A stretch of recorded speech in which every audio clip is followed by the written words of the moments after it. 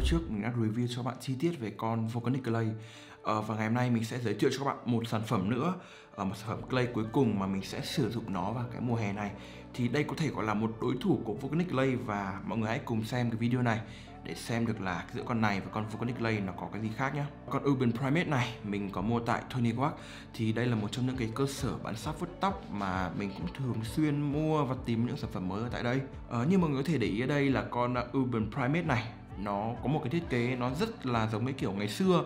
Ờ, nó được đựng trong một cái hũ sáp ừ, bằng thiếc như này.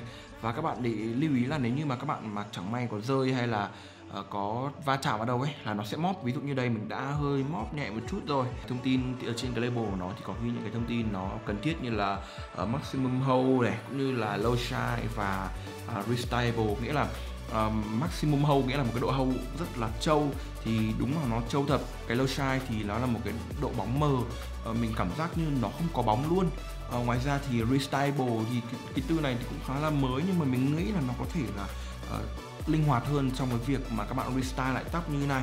Hiện tại thì trên tóc mình cũng đang vuốt bằng con uh, Urban Primate này luôn. Lúc trước khi mà mình cầm vào sản phẩm này thì mình nghĩ chỉ đây là một cái lọ sáp nó uh, rẻ tiền một cái lọ sáp hãng fake thôi. Nhưng mà cho đến khi mình tìm hiểu kỹ hơn ý, thì đây là một cái brand mà đến từ bên Thái Lan.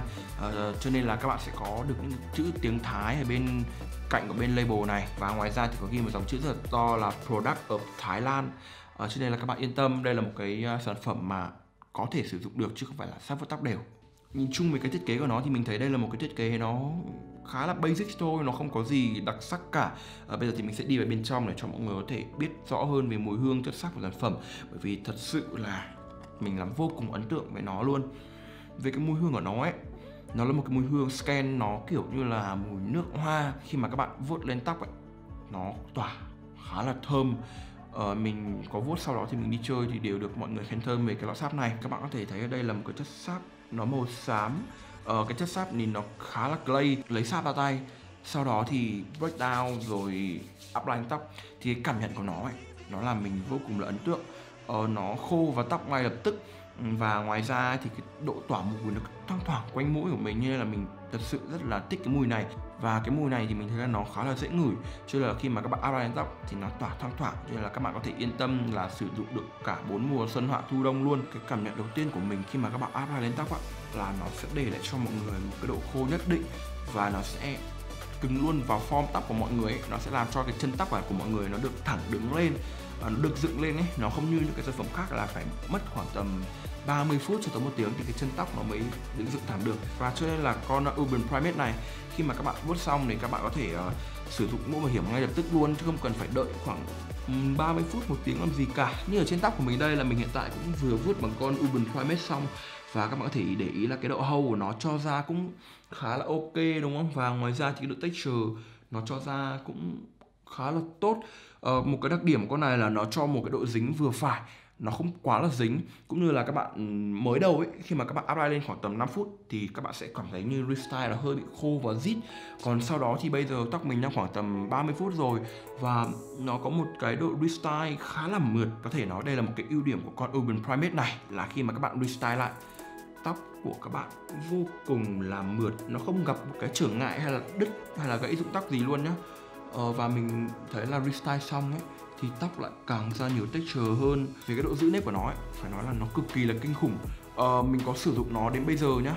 Sau đó thì đến khoảng tầm đến sáng ngày hôm sau mình để cả đi ngủ luôn. Nhưng mà tóc vẫn vào form như này luôn chỉ cần mình restyle lại một chút nhá là tóc trở lại như ban đầu luôn. Mét này là một con sáp nó thiên hướng khô cũng như là nó sẽ tạo cho mọi người một cái độ hút dầu nhất định.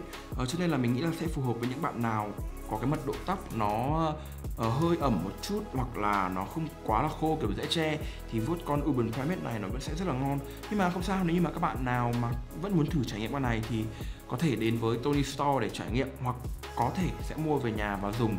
Bởi vì thực ra ấy mình đã sử dụng con này ở trên tóc của bạn mình rồi và mình thấy là nó vẫn rất là ok mặc dù tóc bạn mình là nó khá là khô cũng như là nó hơi dễ che một chút nó vẫn được lên form được nhất định bởi vì là nó sẽ chỉ khô khoảng tầm 10 phút đầu thôi.